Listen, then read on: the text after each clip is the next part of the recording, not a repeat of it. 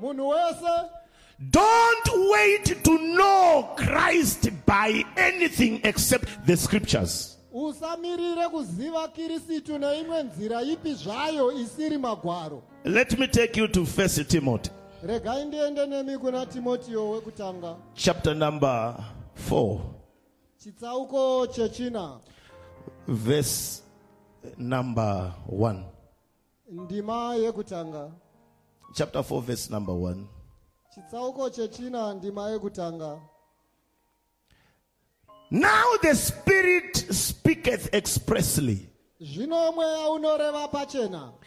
That in the later times kuti panguva dzinouya some shall depart from faith, vamwe vachatsauka pakutenda. Not from church, but from faith.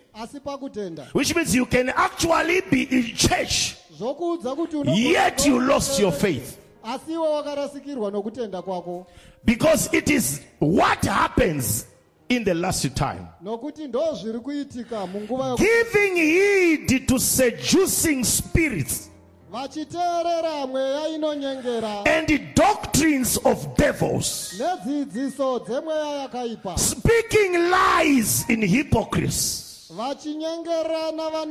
having their conscience seared with a hot iron. vakapiswa pahana dzavo nedare rinopisa I can tell you this ndinogona kukuudzai chinhu ichi we are living in a time tiri kurarama munguva where a member gossip a pastor. apo mutende anonyeya muf- And on Sunday, the member will be lifting hands for prayer. From the same pastor, he was gossiping. Nezuro Maneru, just last night aireva pastor he ivava. was gossiping about this pastor. Mangwana muservice. then tomorrow in the Anenge akasimudza ruoko achinamatirwa napasta vamwe chete And present hana yake hairovi kuti ndaenda pamunhu wandanga ndichiita makuhwa paari. Mazuva atiri kurarama. hana dzevanhu hadzicharovi kune vanhu vanotosvika pakurongera mumwe chakaipa vachinamata vese. Kune vanhu vanotosvika pakuchera mumwe. Vachinamata vese. Kune vanotoba mari yechechi. Vachinamata muchechi yacho. Kune vanotosvika pa muri kundinzwa here imimi people? Pane ari kundinzwa here? Simuka pauri papa kuti muri kuda denga here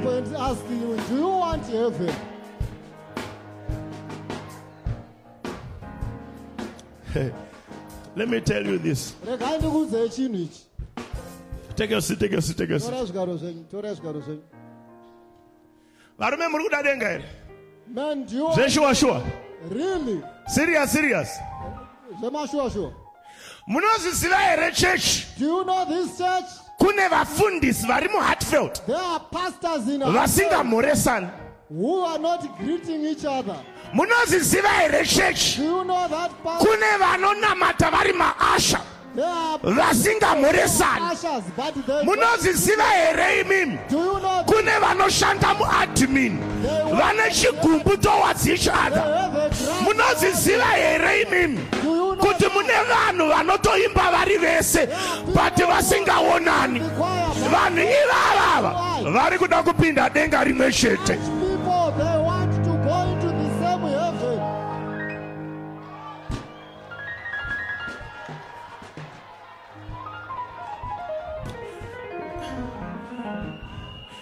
ndiani ari kundinzwa is anyone hearing me? Vangani vari kuda denga how many desire heaven? Vangani vari kuda denga